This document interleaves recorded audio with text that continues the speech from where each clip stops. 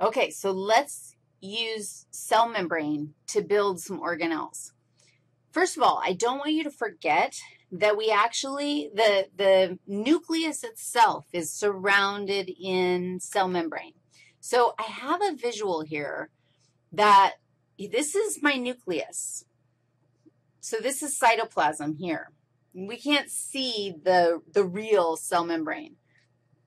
And you can see that my nucleus is made of cell membrane, and it has these pores inside of it so information can get in and out.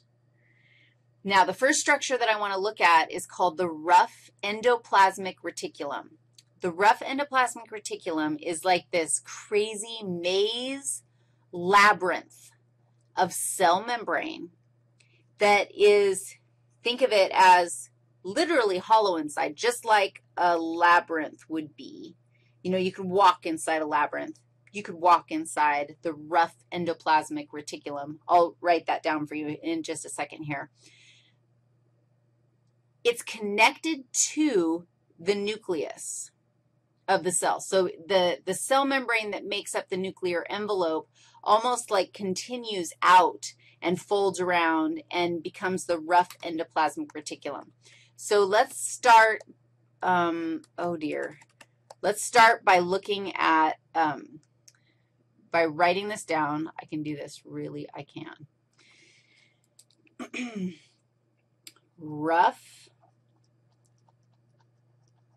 endoplasmic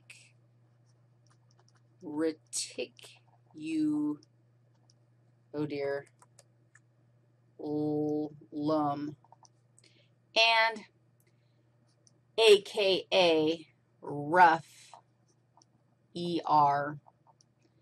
Now, can you say rough ER on a test instead of rough endoplasmic reticulum? Yeah, I probably would accept it, but you better know that ER stands for endoplasmic reticulum in case I use endoplasmic reticulum. And it's rough. Rough with ribosomes. What? The rough endoplasmic reticulum is a maze of cell membrane with ribosomes like embedded in it, like, like a jeweled outfit with a whole bunch of jewels all embedded in it, and the jewels are the ribosomes. Now, who remembers? What does a ribosome do? Go ahead, shout it out. Shout it out loud.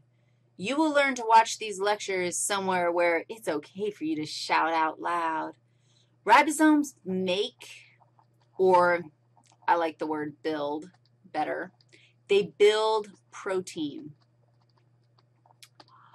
That gives you a hint as to the function of my friend, the rough ER, the RR.